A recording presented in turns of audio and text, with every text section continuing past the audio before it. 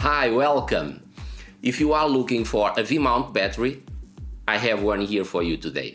So if you don't know me, my name is Paulo and today I'm here to make a review of this V-mount battery. It's a WIMAXIT Energy 99 and they reached out to me and asked me if I want to review this battery and I said yes and no money was exchanged. They didn't ask me to say anything and they're gonna see the, this video at the same time as you are seeing so I don't have to say anything and this is my true opinion about this battery. So I received the battery and I've been testing it for around two weeks and I've been using with my camera rig that I'm shooting right now and for powering my Sony FX30 and my Atomos Ninja uh, 5 Plus. And it's a great battery. It lasts a lot of time. Of course, I don't know how much time it will last because I'm recording in parts and recording several days.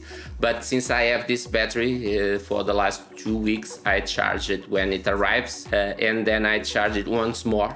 So I charged it two times and it it took me around three hours, I don't know exactly how much, but around three hours to fully charge from around 20% over to 100%. And as I was saying, this battery has been working in my camera all time and I just remove it now to make this review and it's been working great. And this battery has some features that I like. First, the build quality of the battery is very good. It's a simple battery, it's no fancy battery, but the build quality very good. It's a very solid battery. You don't feel nothing moving on this battery. And it has a lot of features that I said that I like. The most important for me are these two USB ports over here. So it has two USB ports. One is an USB-A that can provide 18 watt power and a USB-C that can provide 45 watt and it can also be used to charge this battery.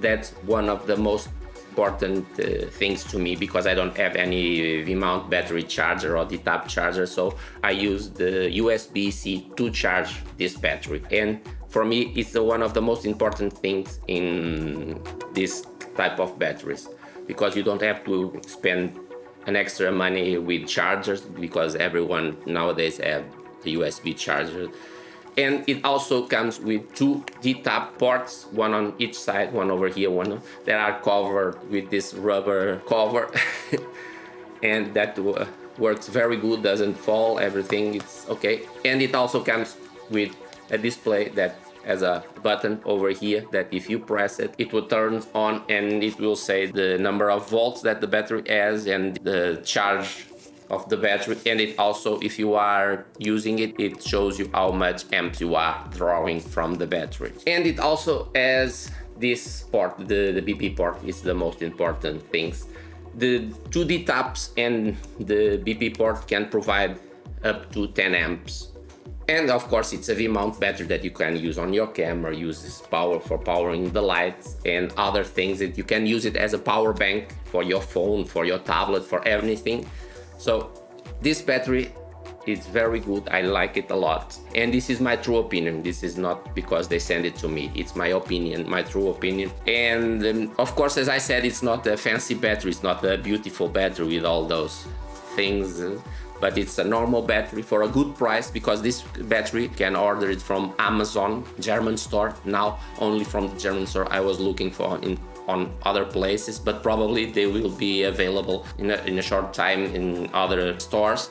But now you can order it from Germany and it costs 158 euros for this battery. And I've been comparing with other batteries and it's a little bit cheaper uh, and because of all the features.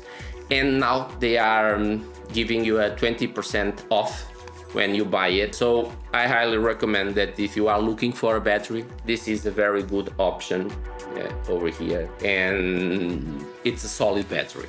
So I hope this information was helpful and if you are looking for one, go and check it out. I will leave a link down below in the description where you can see the battery And if this information was helpful, don't forget, hit that like button, that helps a lot. Subscribe if you're not subscribed yet, and hit that notification bell to be notified next time I'll launch a video. Until then, bye!